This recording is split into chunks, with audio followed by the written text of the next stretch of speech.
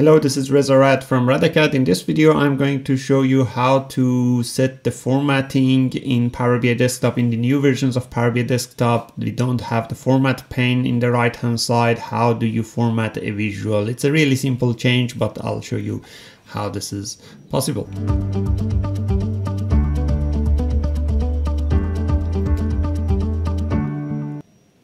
So previously in Power BI Desktop, we had the format pane in the right hand side when you uh, wanted to format an object, a visual, you would go there and do the formatting. But in the new version, um, you don't see that formatting. This change uh, started from March 2023, early March as a preview version, uh, which is going to be um, soon changed to public um, general availability but by the time that you watch this video this might be already generally available.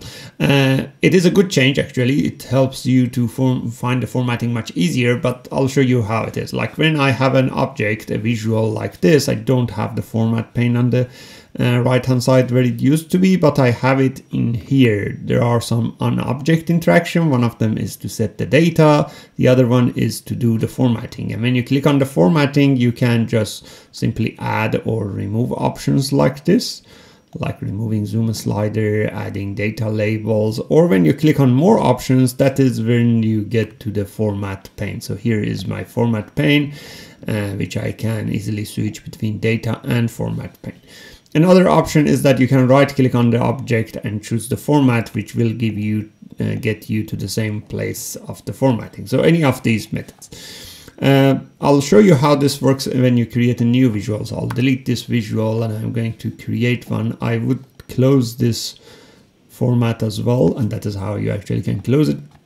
Um, so I'm going to add a visual by internet sales.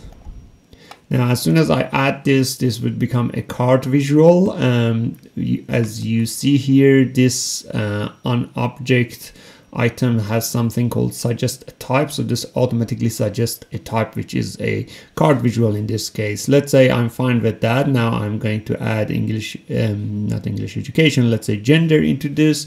This automatically changes it to a um, bar chart clustered bar chart, which is fine. But if I'm fine with this type of chart, I don't want any suggestion, I can turn it off. And here I would see all the options that I can go and add data to that, like x-axis, y-axis, legend, small multiple, depend on which visual you are trying. So these might be different like for example now I can go and add something in here such as total product cost to the tooltip which if I hover on this I would see total product cost or I might want to say well English education. I would add it as a as a small multiple which will then multiply this chart uh, as a small multiple I might want to do some formatting so I go to the format but here doesn't have the option for formatting the small multiples. So I'll go to the more options and here is where I can configure a small multiple and say I want to have like uh, one row sorry five rows but one column. So this might look a better visual now in this case, and to learn about the small multiple, look at my other, uh, other video about the small multiple. So this video is all about how to do this formatting. As I said at the time of creating this video, this is a um, this is a preview feature, so you have to enable it. Uh, otherwise, you still see the old formatting. How the old formatting looks like, I'll show you uh, in a second. So I'm going to turn off this preview feature. By the time that you watch this, this feature might not be preview, so you may not have the option to turn it off. Uh, but I'm going to turn it off. So this is the option for an object interaction, as you can see, um, which I can turn it off because it is preview right now. After turning it off, I have to close the Power BI desktop, reopen it again, which I'm going to do that. And then I would see the old layout. In the old layout, we had it in the right hand side. I mean, right now you can also have it in the right hand side when you click on the um, right click and go to the format or go to the more options you have it in the right hand side but for some simple things such as adding um, data labels and things like that, you can do it on objects. It's more or less similar to other Office products uh, formatting like Excel and Word, which is much better. So previously it was like that. When you click on a visual, we had this format pane where we went here and do all the formatting configuration, which is pretty much similar to what the new one is. The only difference is that because we had so many tabs in here, it was hard to focus on developing something. Now the new layout makes it easier. So to get the new layout, go to the file, options and settings, options, and enable this feature.